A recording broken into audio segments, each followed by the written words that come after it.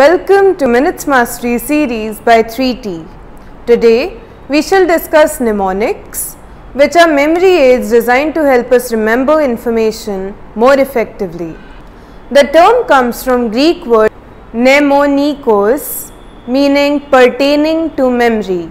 These tricks use creative associations and patterns to make recall simpler. When I was in school, mnemonics were a lifesaver. For example, students use the mnemonic My very educated mother just served us nachos to remember the order of planets Mercury, Venus, Earth, Mars, Jupiter, Saturn, Uranus and Neptune. But mnemonics are also incredibly useful in the corporate world.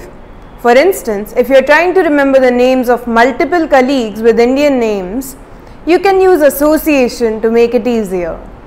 Let's say you need to remember the names Amit, Sita and Raj. You could create a story or visual association like Amit loves ample mangoes, Sita always shares ice cream and Raj enjoys rice always. Connecting each name with a memorable trait or story helps you keep them in your mind. By linking names to vivid images or stories, you can make them easier to recall. Mnemonics transform the mundane into something memorable and engaging. These techniques work by creating memorable association whether through acronyms, rhymes or stories that make the information stick.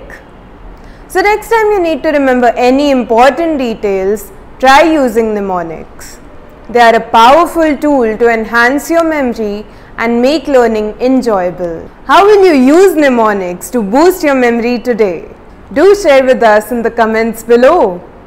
Thanks for watching Minutes Mastery. Stay tuned for more tips to live a fulfilling life.